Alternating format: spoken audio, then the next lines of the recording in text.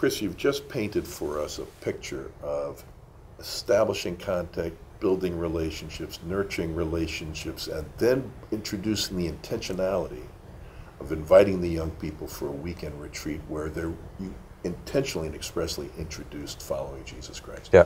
Can you give us a picture of what that weekend looked like, really quite grandly from we're getting in a van, we're Yeah. in a bus, we show up. What does that weekend look like? Okay, so. These weekends we've now done 25 of them, um, and we it's a lot of volunteers. So we want ratios of about one to three young people. So if we're taking 50 young people away, we need to be taking 16, 17 volunteers with us as well. Um, we, we, it's self-catered, uh, and it also has to be affordable. So for us as a church, because money should never ever stop any young person hearing the good news of Jesus. It means as a church we have to sub this something big time. But you know, church budgets reflect your theology. They're just your theology in, in figures, aren't they, really? And your commitments.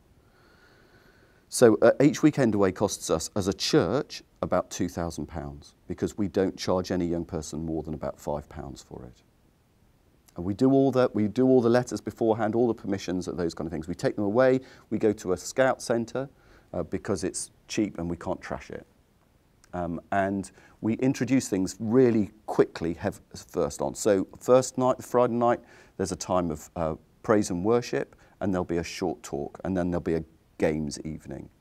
Um, again, we know, we know these young people. We don't tend to take young people away that we haven't already got an established relationship with.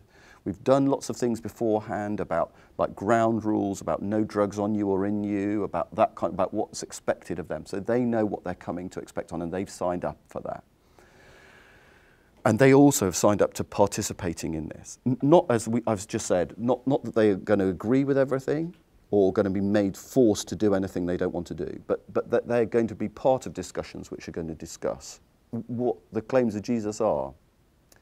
Now, what we're getting to at this point uh, in our life as a church is that other young people are now doing these talks rather than you know wheeling on an adult who's got a great you know out back back of the pocket talk like this is young people talking to young people so we do like sessions you know a friday session a saturday morning session a saturday night session and a sunday session um, and then we do seminars as well. We do like little kind of breakout things where we'll try and talk about things that these young people do. So, two of my young adult volunteers said we need to talk about fathers.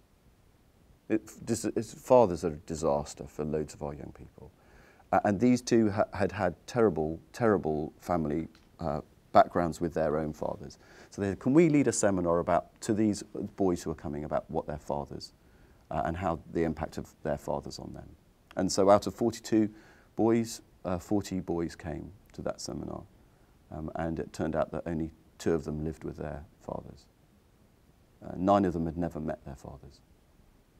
So just in those kind of things, opening up safe places for these young people to talk about things that they don't, not, don't have anywhere else to talk about, where they, where they can talk about disordered eating, where they can talk about body image, where they can also enjoy themselves, play games. We play lots of games, we have lots of fun, um, and we try to show them what, what a Christian life is and the impact of following Jesus Christ on their lives.